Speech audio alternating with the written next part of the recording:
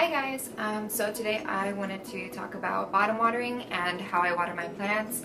I chose to use the bottom watering method just because I don't want to get fungus gnats or gnats and um, I learned that using this technique you're less likely to be attracting fungus gnats. So this is just another way of preventing to make sure that I'm not attracting any potential breeding grounds or any fungus gnats in my little jungle that I have going on here.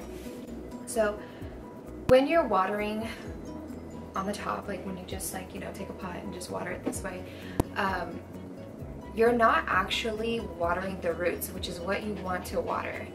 And with bottom watering, what's happening is so you're putting like a tray of water underneath your pot, making sure that it has holes at the bottom and the soil will actually soak up the water from the bottom.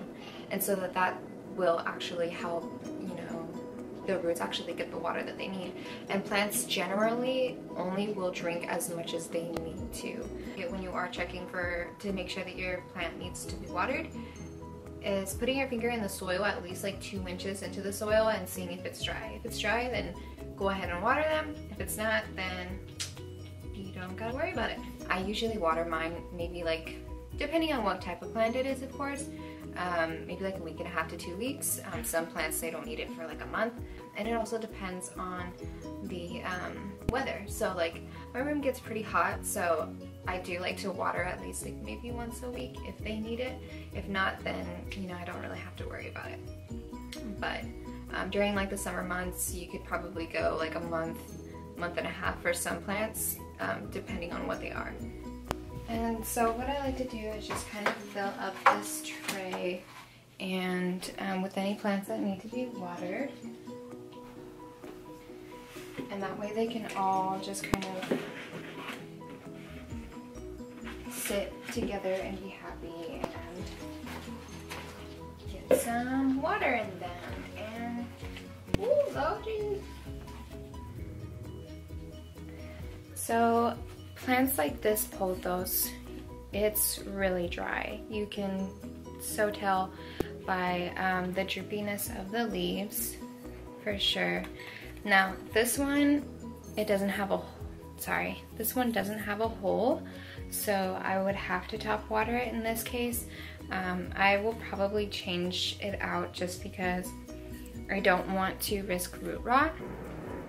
Now this Calathea is still pretty, um, it's not moist, but it's a little drier than I would like it to be, and I'm sure what it would like to be. So I'm just going to squeeze this in there. You also want to make sure that if any of these plants have, you know, um, an infection of some type, you don't want to do this. You want to water it separately if it needs to because you don't want it to get on any of your other plants, right? I'm just gonna go ahead and turn this and just pour the water in.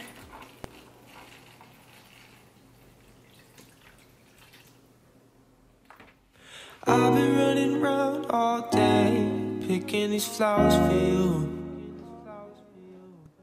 I swear you don't appreciate the things I'm doing for you. And I've been running around all day, picking these flowers for you. Oh yeah.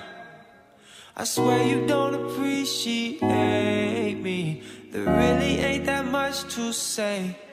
Cause baby, I ain't got room for a broken heart Had to throw it out, no use in broken parts Had it working overtime until we broke apart